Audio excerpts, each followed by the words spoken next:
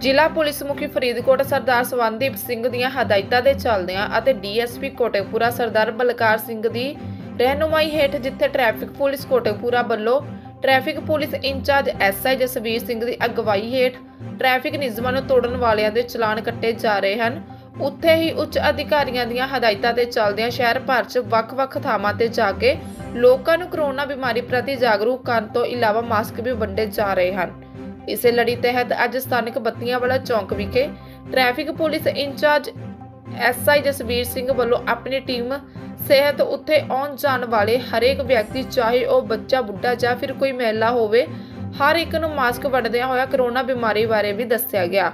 ਉਹਨਾਂ ਆਖਿਆ ਕਿ ਕਰੋਨਾ ਬਿਮਾਰੀ ਇੱਕ ਬਹੁਤ ਹੀ ਭਿਆਨਕ ਬਿਮਾਰੀ ਹੈ। ਇਸ ਲਈ ਸਾਨੂੰ ਇਸ ਬਿਮਾਰੀ ਤੋਂ ਜਿੰਨਾ ਹੋ ਸਕੇ ਇਸ ਤੋਂ ਬਚਿਆ ਜਾਵੇ। ਜਿੱਥੇ ਸਾਨੂੰ ਵਹੀਕਲ ਦੇ ਚਲਾਨ ਕੱਟਣੇ ਪੈ ਰਹੇ ਹਨ, ਉੱਥੇ ਸਾਨੂੰ ਤੁਹਾਡੀ ਆਮ ਪਬਲਿਕ ਦੀ ਸਿਹਤ ਦੀ ਵੀ ਪੂਰੀ ਚਿੰਤਾ ਹੈ। ਇਸ ਲਈ ਅਸੀਂ ਆਪਣਾ ਫਰਜ਼ ਨਿਭਾ ਰਹੇ ਹਾਂ ਅਤੇ ਮਾਸਕ ਅਤੇ ਸੈਨੀਟਾਈਜ਼ਰ ਦੀ ਵਰਤੋਂ ਕਰਦੇ ਹਾਂ ਅਤੇ ਉਚਿਤ ਦੂਰੀ ਬਣਾ ਕੇ ਰੱਖਣ ਦਾ ਤੁਹਾਨੂੰ ਵੀ ਆਪਣਾ ਫਰਜ਼ ਨਿਭਾਉਣਾ ਚਾਹੀਦਾ ਹੈ।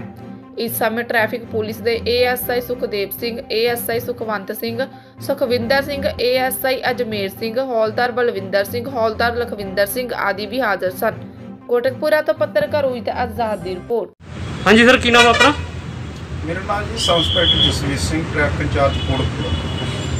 ਤੇ ਅੱਜ ਦੀ ਕੀ ਕਾਰਵਾਈ ਹੋਈ ਹੈ ਜਿਹੜੀ ਅੱਜ ਅਸੀਂ ਸਾਡੇ ਮਾਨਯੋਗ ਐਸਐਸਪੀ ਸਾਹਿਬ ਸਰਦਾਰ ਸਵਰਨਦੀਪ ਸਿੰਘ ਜੀ ਦੀਆਂ ਹਦਾਇਤਾਂ ਅਨੁਸਾਰ ਅਤੇ ਸਾਡੇ ਡੀਐਸਪੀ ਸਾਹਿਬ ਸਰਦਾਰ ਪ੍ਰਕਾਸ਼ ਸਿੰਘ ਸੰਧੂ ਜੀ, ਉਹਨਾਂ ਦੀ ਰਹਿਨੁਮਾਈ ਹੇਠ ਅਸੀਂ ਕਰੋਨਾ ਮਹਾਮਾਰੀ ਦੇ ਸੰਬੰਧ ਵਿੱਚ ਲੋਕਾਂ ਨੂੰ ਜਾਗਰੂਕ ਕਰ ਰਹੇ ਹਾਂ। ਇਹ ਤੋਂ ਬਚਾਅ ਬਾਰੇ ਦੱਸ ਰਹੇ ਹਾਂ ਕਿ ਕਿਵੇਂ ਬਚਿਆ ਜਾ ਸਕਦਾ, ਜਿਵੇਂ ਕਿ ਸੈਨੀਟਾਈਜ਼ਰ ਦੀ ਵਰਤੋਂ ਕਰੋ, ਮਾਸਕ ਪਹਿਨ ਕੇ ਰੱਖੋ ਤੇ ਆਪਸ ਵਿੱਚ ਦੂਰੀ ਬਣਾ ਕੇ ਰੱਖੋ। ਘੱਟੋ ਘੱਟ 2 ਮੀਟਰ ਜਾਂ 6 ਫੁੱਟ ਦੀ ਹੋਵੇ। ਬਾਕੀ ਜੋ ਸਮਾਜ ਸੇਵੀ ਸੰਸਥਾ, ਉਹਨਾਂ ਦੇ ਸਹਿਯੋਗ ਨਾਲ ਅਸੀਂ ਸੈਨੀਟਾਈਜ਼ਰ ਅਤੇ ਮਾਸਕ ਜਿਹੜੇ ਉਹ ਲੋਕਾਂ ਵਿੱਚ ਵੰਡ ਰਹੇ ਹਾਂ ਤੇ ਉਹਨਾਂ ਨੂੰ ਅਵੇਅਰ ਕਰ ਰਹੇ ਹਾਂ।